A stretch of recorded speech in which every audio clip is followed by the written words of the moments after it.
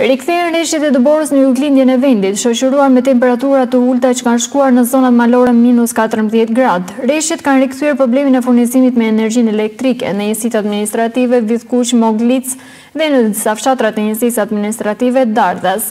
Akset rrugore të Dardhës, Legacit, Shtyllës janë të kalueshme vetëm me zinxhir.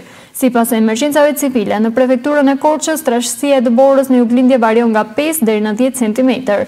Fshati Shtyllë prej tre javësh vijon të jetë i izoluar.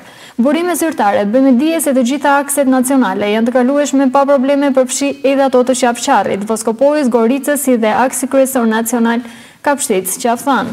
Kjo edhe falë masave të marra nga firmat që mirëmbajnë këto akse, është shprehur burimi zyrtar nga emergjenca civile.